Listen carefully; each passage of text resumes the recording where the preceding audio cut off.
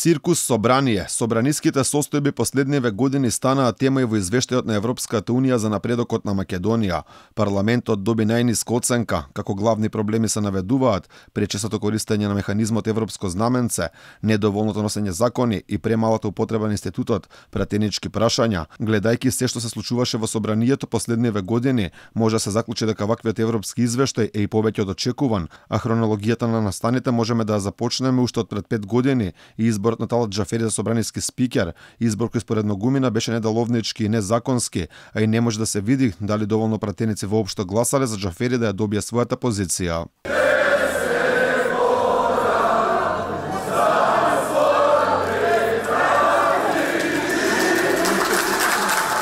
Според многумина самоволието на Талат Джафери поддржано од целата владина коалиција е еден од најголемите проблеми за негативните извештаи и оценки кои ги добива собранието. Изборот на Джафери не е единствениот проблем поврзан со него. Самото негово однесување од шефовското столче во законодавниот дом е проблем според познавачите.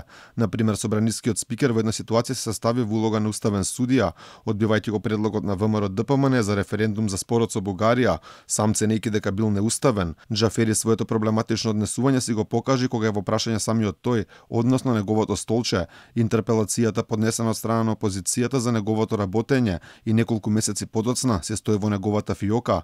ВМРО ДПМН е побара одговорност од првиот човек на парламентот поради неговото однесување од шефовското столче. Еден од примерите е неговото трпение кое нагласа намалува кога на собраницка говорница ќе се појави да говори пратеник на опозицијата. Добро, нема.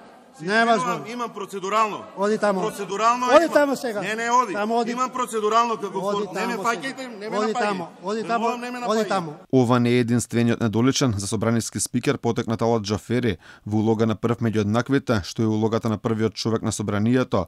Тој често кон претениците знае да испрати физички закани. Нема втај со прстот и може да ти биде скршен тој прст. Ајде. Ајде. Сигурно пред меѓународниот фактор сликата на собранието нема да подобри ниту потегот на Джафери уште на стартот на својот прв мандат, кога со обезбедување бркаше пратеници од говорницата. Тргнете го Ѓорче под говорница, обезбедување.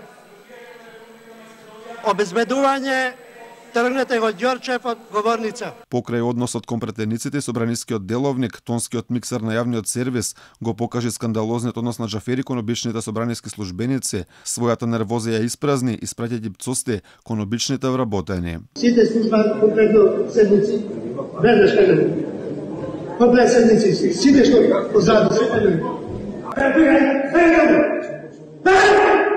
Однесувањето во собранието не е единствениот проблем, но оној кој треба во најдобро светло да го представува парламентот. Токму пред оние кои сега му дадоа најниска оценка, Талат Джафери го прекрши македонскиот устав. Говореше на албански во Европскиот парламент, иако во членот 7 од уставот јасно е запишано дека македонскиот јазик и неговото кирилско писмо се службени за меѓународна употреба.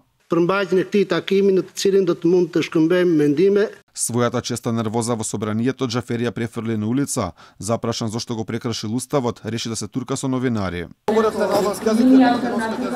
Edukim në lëmit teknike Негативна дамка врз собранието секако фрли потегот на сопартиецот на Джафери Арбар Адеми.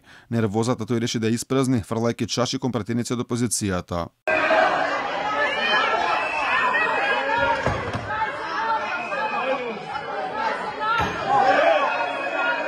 Меѓу она што најмногу се забележува е користењето на пратеници само како гласачка машинерија, па дури постојат и сомнежи дека пратеници биле пуштени од притвор за гласање во законодавниот дом. Тоа беше пример со Љубен Арнеудов, Сашо Василевски и Крсто Муковски, кои излегоа од шутка непосредно пред изгласувањето на уставните измени за промена на името на државата. Последен пример за сомнежи за недемократски притисоци кон пратеници беше примерот со Кастриот Реджепи, кој едноставно исчезна на денот кога требаше да се гласа недоверба за владата, па поради неговото отсуство се спаси владиното мнозинство, тогаш предводено од Заев.